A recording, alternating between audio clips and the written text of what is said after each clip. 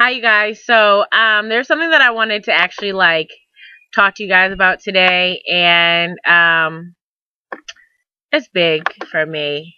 It's really big because I've been really like seeking after God's heart, like seeking, like I want to know like how God feels. Like, you know, I can only feel it so much because you know I'm only dealing with a certain amount of people, but uh, you know God feels it on a huge level. Like I said before, like you look at people like Hosea and, you know, God told him to go um, marry a prostitute, you know, and he could only feel the cares of the world with one person and how bad it hurt with one person, you know, um, because, you know, it's, it's kind of like God. He's trying to love the world.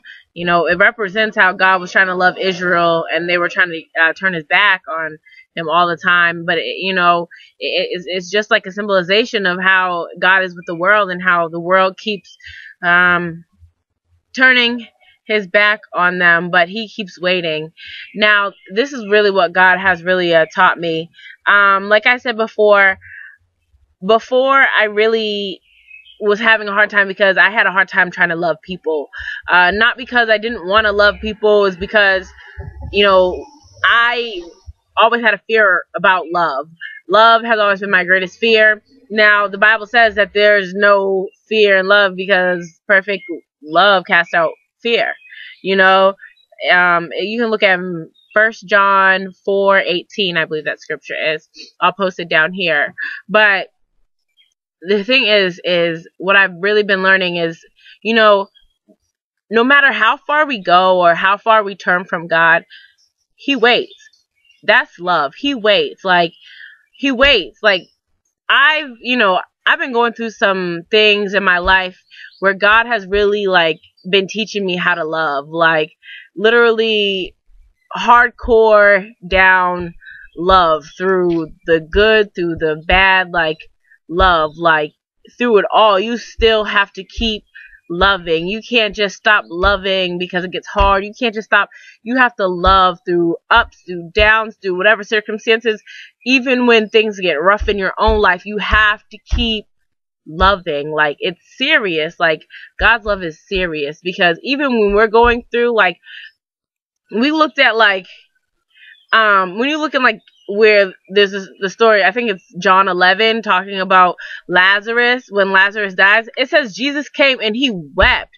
Like that's a hard time, but Jesus still loved through the hard times. Like no matter what circumstance it was in life, like, you know, whatever circumstance it was, God still loved. Jesus still loved. Like they still love through it all. You know, even when you want to be mad because people are acting up or not doing right, you still have to love them. And it's just, it's, it's dedication. Like, it's real, pure love. Like, I can only imagine me being in the world and others just wanting to give up on me and just waiting. You know, like I have a situation in my life where, you know, God just like, look, no matter what happens, you just need to wait and be dedicated because, you know, you really love this person. You really care about them. So wait. So that's what I do. I wait, just like God will wait, because, you know, I, I, really ask God, you know, God, show me how to love, show me how to love, you know. And the one thing that we know about God, the Bible says that God will never leave us nor forsake us no matter what the situation is in our sin, through it all, through it all, He waits. He waits. He's still there for us. He still cares for us. He still loves us. He waits. Like you know, there's there's there's not a day like I go to church every Sunday, every Wednesday. You can get an invitation any day of the week. You can give your life to God. Like any day of the week, you can come back. You look at the story of the prodigal son with the prodigal son. Like this man didn't know when his son was gonna come back. He didn't know when his son come back, but his son come back any day. He let you know. It's like you know. It talks about how I believe it talks about how the man left you know, the light on, waiting for the product, like you, you leave the light on, waiting for the prodigal son, waiting for him to come home, you know, like you, you just, you just wait, you just wait for them to come home, hoping that they'll return, hoping that they'll come home. You just wait, you just wait, you know, and, and that's what God does for us. He waits for us to come back, you know. And I find it like odd and strange for humans how we can't wait on God, but God waits on us a whole lot. He just waits and he waits and he waits and he waits and he waits. And then God tells us to wait and we're like, God, wait for what? For what? When God waits. And waiting requires a lot of patience, but imagine how much patience God has because he waits a lot. And um my my real big challenge for you guys is I really want to make it to the Toyota challenge because not only just a challenge, but like this is a real serious challenge. You know you have someone in your life, you know, that you really care about, who you love. You know, my challenge is to you if you have not told them about Christ, you need to tell them about Christ soon. Uh, tomorrow's never promised, and when you really love somebody, you tell them about Jesus. You tell them about Jesus, and then sometimes it's very hard because you know uh, they think because they're close to you that they're exempt, but they need to know. Um, just because they're close to you doesn't mean anything because some people who are close to you will sit there on judgment day and they will go to hell because you never told them about Christ. It is very serious. And when you love somebody, you tell them about Christ, no matter how hard it is. You know, I've, I've had people who I really love and care about turn their back on me because I've had to tell them, look, you know, you know, I, I, you know, you pity patty around it, you kid and joke with them, you love them and all this stuff. But look, if you die tomorrow, I mean, you don't have to be as blunt, but like, it's true. If they died tomorrow and they did not know Jesus Christ, they would go to hell. And that is reality. You do not want to stand there on judgment day watching your friend go to hell. It is not fun. It's a real place. You know Jesus. The time is today. You do not want to sit there and them ask you, why didn't you tell me about Christ? There's a um, there's another story uh, in the Bible about the rich man, the rich man, and um, uh, a man I believe it was a poor man. His name was Lazarus. I believe that he sat outside the gate of the rich man's house, and the and the rich man, uh, he went to he went to he went to hell, and he asked if he could go back and get a second chance to tell his family not to come to this place hell is a real place. And you don't want your family or those around you to go to that place. So today is the day to tell them about Jesus. Do not wait for tomorrow because tomorrow is not promised nor guaranteed. Uh, it is serious. When you love somebody, you will do that. Um, you know, we, we, we often compromise because it's okay to compromise about God. Uh, you know, we think, but it's not it, you know, someone, someone's soul is at stake here when we compromise. Someone's soul, you know, it, it's it's not right because when they go to hell, then it looks bad on you. We don't understand all the actions that we make. It affects somebody in some kind of way. It affects somebody in some type of way. Look at Eve, Eve in the garden. All, all she did was she she she took a bite of the fruit and then she gave it to her husband. She gave it to her husband. And what happened? Then they fell into sin. And then they got kicked out of the Garden of Eden. And sin has filled this world for generations and generations and generations to come. Jesus had to come just because of her one choice. Choices are very huge in life. You know, I wrote a poem um, talking about Eve's regret, and um, it, you know, it, it it is difficult. You know, we we want to do the right things, and we want you know uh, to live for for for Christ. You know, but we're not. If once we have Christ, we're not the only ones who need it. We need to be out there spreading that gospel. Jesus could come back any day.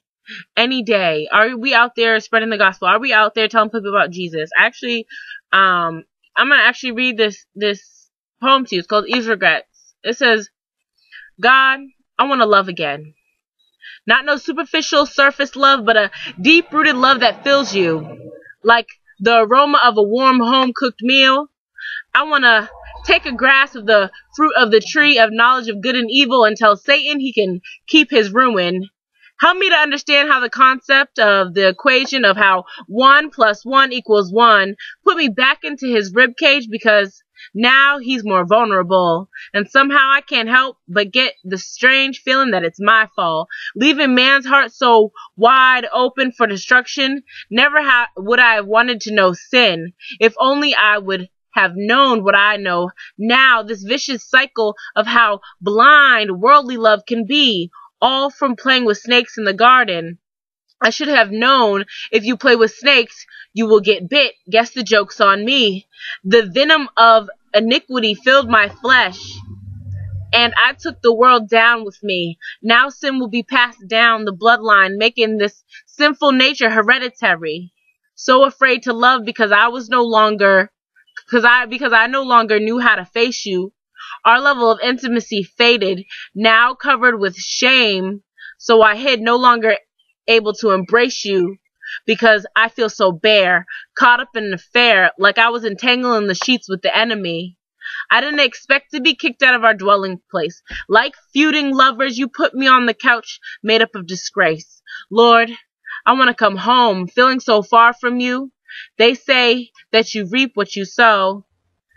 Now, some of my future seeds will lose their soul. So, Lord, make an escape to bring, to help bring them close to you all because of my mistake. See, hell is real.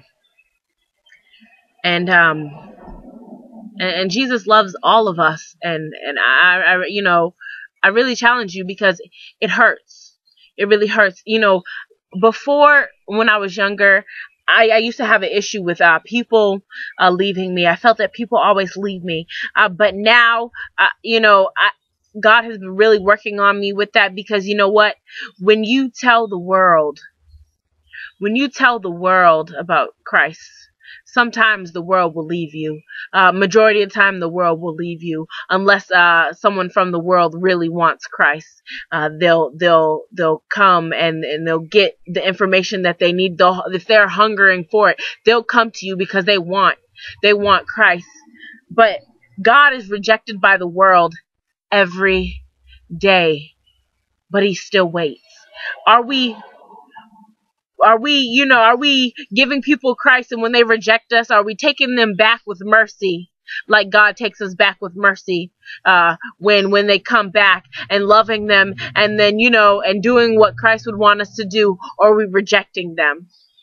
Sending them back out into the world? Are we telling them, you know, sometimes the world when when they hear that they that Christ died for their sins, that you know that they'd have to, you know, surrender their life to God. It's a beautiful thing to surrender your life to God. It's not a bad thing but they will they will relieve us and they will reject us. And we have to take them back with love and mercy and kindness. We can't reject them. When when when god takes us back he doesn't reject us. He accepts us because he's been waiting with, for us with mercy and grace and understanding. And he's willing to take us back and we have to uh, look at the prodigal son. The father had mercy on his son. He loved his son. He made a feast for his son, though his son went out into the world because he loved his son. He rejoiced over his son because his son was lost, but now he's found. So we need to do this because it's serious.